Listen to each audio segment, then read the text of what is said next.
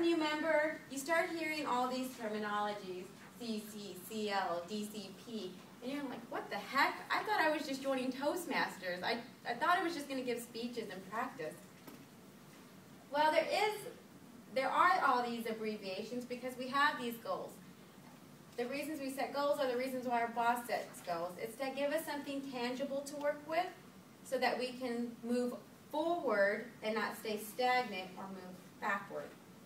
Having said that, let me try to inform you on another thing. When the officers went for our training, do you know that we did not know what our area was? They kept asking us, and we were like, we did not have a clue. So today I'm here to inform you that we are in Division M, Area 34, and if you can remember that club number, I want to talk to you, and, how, and you can tell me how you memorize all these. But for now, the main important area, uh, information I'd like to share with you is that we are in Division M, Area 34, and we do have a club number. If you ever need that club number, feel free to ask me.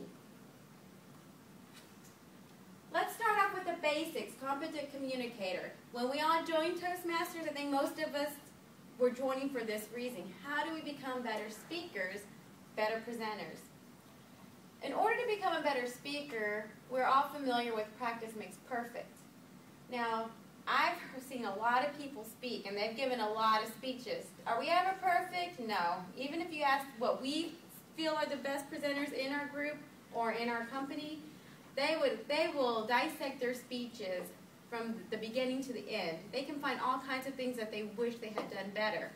Having said that, you would rather go listen to them speak than somebody who never practices.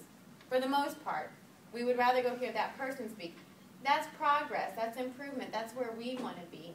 How we get there is by working on our goals, and in our manuals are all kinds of goals, all kinds of objectives, and projects that will get us there. That is our Competent Communicator book. I asked all of y'all to bring it today, and I didn't even bring mine. But if you look at them, there's a speech there to help you work on several different speeches that you're going to ask to be given at one time in your life and if you just use your competent, commun competent communicator manual as a guide, it will get you there. As a group, what does that mean, competent communicator? Yes, you have the book. What else do you do? Do you just go with the book? When you join Toastmasters, they encourage you to get a mentor. And this is because you'll have a quick, familiar, easy way to get a reference, to get that extra support you need. Find someone that you think fits you or someone that you've seen deliver presentations and maybe you can work with them to get where you want to be. Does that mean that that's the only person you go to? No, but it's just your point of contact that gives you that connection, that familiarity. Anybody in the club can help you, but today I would like for you on your papers, before you leave here, just so you that you already remember to put it down, I would like everybody to have a mentor. And you can ask the person ahead of time if you would like. If you already have a mentor, just put that name down. Or put a two or three. If you're not sure and you want to ask one and you think one might back out, you can have a backup. I would just like for everyone to have a mentor. I think Art Luderman is probably the most enthusiastic mentor we have. And as far as I know, he has not put a cap on how many he's willing to take. So if, y'all worried, if y'all worried about that, don't be. Schedule your speeches ahead of time. It's okay if you're going to have to back out at the last minute. As long as you let the Toastmaster and myself, the Vice President of Education, know, that's okay. We can always work with that. But why do you have to schedule ahead of time? The same reason you have to schedule anything ahead of time. It's right there in front of you for you to work with. If you don't schedule it, you'll keep putting it off. How many agree with that? If you don't schedule it, you keep putting it off. You're more likely to meet that goal if you have it written down and you have it scheduled. That's why we encourage that. But that does not mean that we don't understand that something's going to come up. You can always back out, but it'll help you as a tool to work towards that speech. Create speaking goals to have something concrete to work towards. Another thing, you you could say, I think I'm going to do two speeches in a year. That's great. It's better than saying, well, I'll just wing it, see how many speeches I can do in a year. Because the closer you get to two, the better you feel about yourself. And if you get to two, Nobody's going to tell you, oh, you can't do an exit speech. You already met your goal. But you have something concrete again to work with other than how, how many speeches am I going to do? I don't know. Let me just wing it. Gives you something concrete to work towards. Commit to your goals. So I'm probably giving you ways out. Yeah, go ahead, try your best, but we understand if you can't make it. The commitment comes from you, whether you're going to do the speeches or whether you're going to keep putting them off. Again, I'm a firm believer that commitment also takes practice. We have the best of intentions. I don't think anybody comes here and says, you know what, I'm just going to show up, or maybe I won't. I think we all came in here with the same reason, to keep on improving our speaking and presentation skills, and life gets in the way. But I think the more we practice at committing to our speeches, the better we become at actually delivering them. And I don't just mean presenting them, I mean actually delivering them from beginning to end. And then we come up and deliver them in front of everybody. That's why I think that that's important. To commit is also an active practice, to, to share that with you. Practice your speeches whenever you can. I think that most of us would love to practice our speeches before we come up here and give them. I know some of us are limited, but I'm here to tell you, I will actually, before I come in front of you, I will try my hardest to run that speech so many times in my head that sometimes I don't even hear people talking to me. I'll do it in the car, I do it in front of a mirror. Those are just some of my tips, but I think you have all yours. I remember one time my grandmother said that the one thing she liked about me was I was in drama and I never knew that she would listen to me while I was in the room practicing my my part. And I would just be in there and I would just be like, if I was Cinderella, I was doing my Cinderella role. And she's like, Mija, it is just so, it's so entertaining just to hear you. She goes, I like it when you're practicing. Well, just try to remember when you were a kid and you used to do things like that. So easy, just find a time, it's pretend you'll be practicing, and so when you come up here, you'll find yourself stumbling less, and you'll find you'll find your comfort zone. Competent leaders. So what good does it do us? We've got all these great presentation skills. We've got all these speaking skills, and Toastmasters mainly people think of it as a speaking improvement program.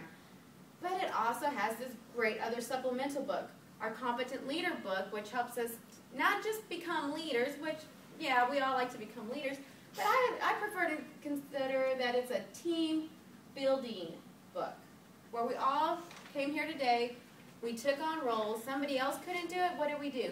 We, we volunteered to meet that role. That's what we would do in the real world. Patrick, your example was awesome. You knew you were going to have to help host an event. Practicing in here, we're good to be going out there, so when somebody gives us that kind of role, we can assume it with a little bit more confidence than if we were just going in it cold. This is where our competent leader book comes in. But let me tell you, as long as I have been in Toastmasters and known about it, do you know that I was of the mind that I was going to finish one book before I started the other? So imagine my shock, like three weeks ago, when I saw I could have already had my competent leader. If you look at your book, a lot of the roles you're taking today, Patrick, I'm, I'm, evaluating you even though you didn't ask me, so I can help you put it on one of your projects in your competent leader book. It's that easy. Most of the roles in here, timekeeper, evaluator, are in your competent leader book. So you could have, all this time, all these roles I've been doing, I could have already had them for credit. That's how easy it is. As well, it gives me practice to carry on into the real world. So uh, I've given you some of the examples. All counter, timer, grammarian. I mean, really, that is like one of the easiest, easiest. We just have to listen and mark down, and it goes in our competent leader book. We get credit for it. You can look at your page, if you brought your book, look on page 55. It gives you other examples.